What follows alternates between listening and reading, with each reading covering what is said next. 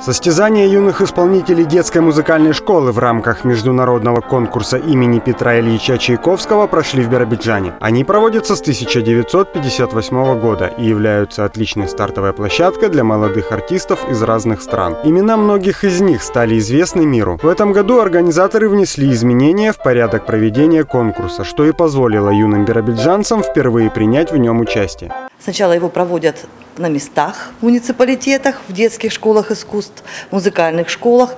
А затем победители участвуют в региональном этапе, далее в федеральном представляют субъект Российской Федерации.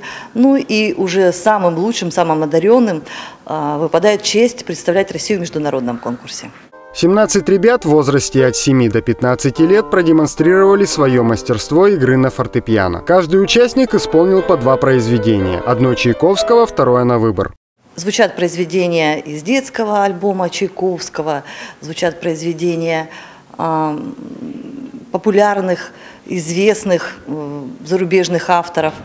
И я думаю, что каждому ребенку будет интересно сейчас в этом зале показать то, чему он научился.